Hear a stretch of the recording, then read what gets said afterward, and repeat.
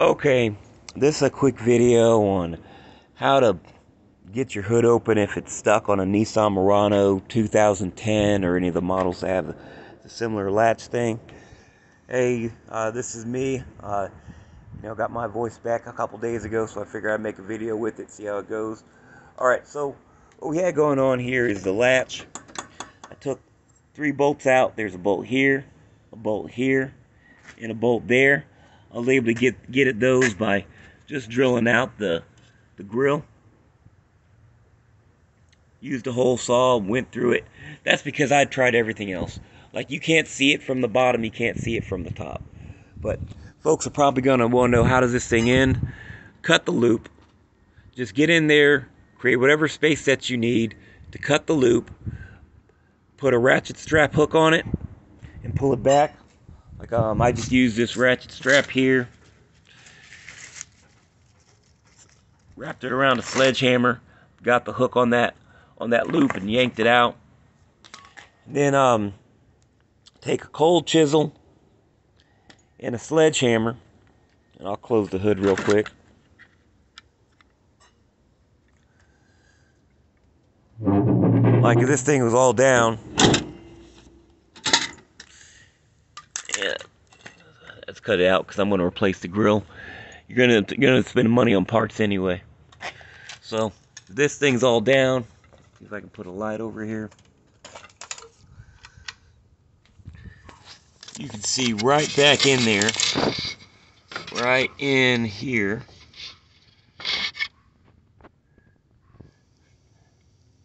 You just push that piece back through.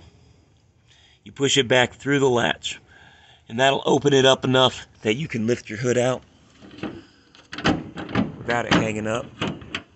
I got that mine disconnected or reconnected right now, but I can just pull it forward and get it back open. Takes a little bit of wiggling after after that, but then you get your hood open. All right, bear with me one second. Sorry, it just takes two hands to do some of this stuff. So you see your latch is still right there, right? Can you get in there? Can you see it? See the latch is still right there?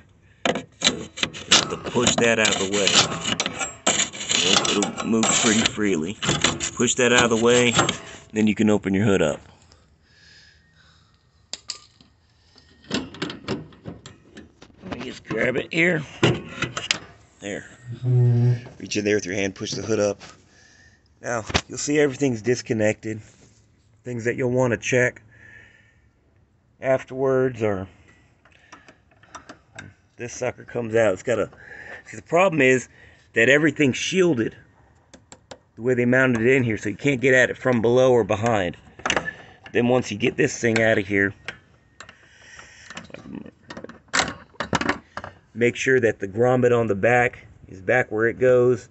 In my, my case, the cable had come had disconnected, so I put the cable back through the loop. And um, yeah, that's how you do it. That's how you do it. It's not a lot of fun. It's it's frustrating, uh, but you can spend all day messing around with it and not get it. Like um, grills are pretty cheap online, so depends on what your time's worth. There's a couple other solutions out there that you can try. Um, they're not all going to work for you. It depends on what tools you have ready. Like um, if you don't have an air chisel, you're not going to be able to, you know, chisel that thing out there. And, and then you still got to go find that part. Don't know where you're going to find that. So just, just take out the part that's easiest to find, easiest to replace. All right. All right, you guys take care.